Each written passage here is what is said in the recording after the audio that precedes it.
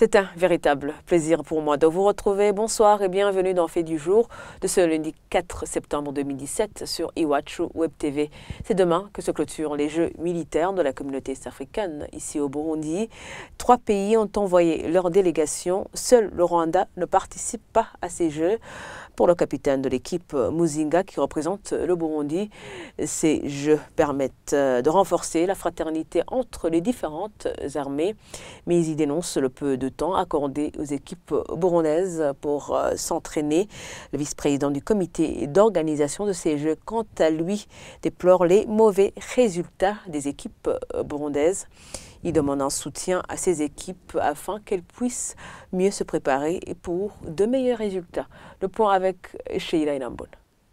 Pour les derniers jours des Jeux militaires de l'EAC, le volleyball dame était à l'honneur. Dimanche, il y avait le match Kenya-Tanzanie et ce lundi après-midi, l'équipe du Burundi a rencontré celle de l'Ouganda. Pour le vice-président du comité d'organisation de ces Jeux, ces derniers servent à renforcer l'esprit de corps des armées de l'EAC ainsi que les relations entre les armées de ces pays. Il déplore les résultats obtenus par le Burundi qui n'a enregistré jusqu'à ce jour qu'une seule victoire, celle du basket chez les hommes. Il demande au gouvernement de les soutenir pour qu'ils puissent mener des matchs préparatoires amicaux à l'avenir. L'objectif de ces Jeux, c'est de renforcer l'esprit de corps des militaires de cette sous-région. Et c'est aussi la promotion de l'éducation physique dans nos armées.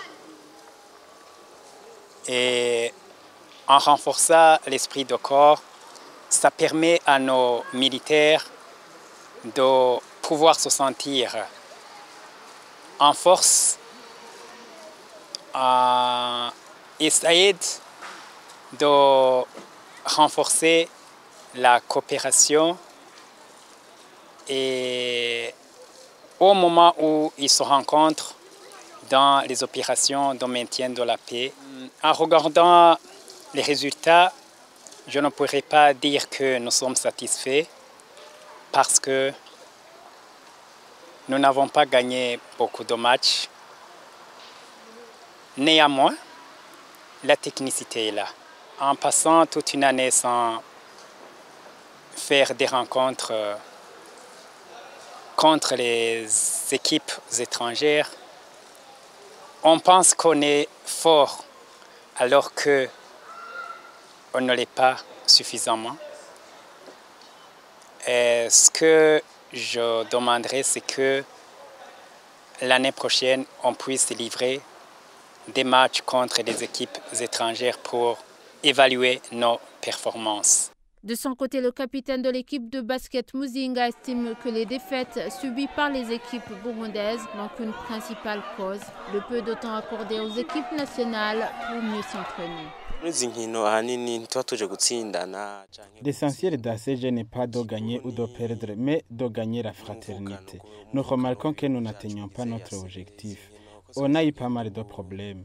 On ne s'est pas entraîné suffisamment. On a juste fait des entraînements pendant un mois et tous les joueurs n'étaient pas présents parce qu'ils vont aller aux activités quotidiennes. On a donc eu des semaines étant au complet. Il y a un autre problème et celui de ne pas participer aux matchs amicaux intercontinentaux ou internationaux.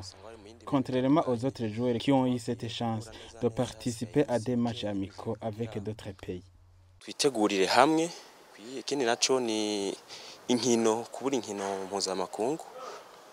nko gukina n'ibindi bihugu kubera izi inkino usanga abakinnyi bandi bo bariteguye baragize inkino n'ibindi bihugu abakinnyi b'ibindi bihugu kuko twebwe twaba twarabuze izo nkino Les Jeux militaires de la communauté est-africaine qui ont débuté le 26 août se clôturent demain, 5 septembre. 11 éditions ont été organisées jusqu'à ce jour.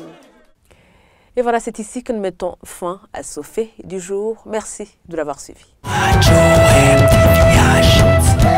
You are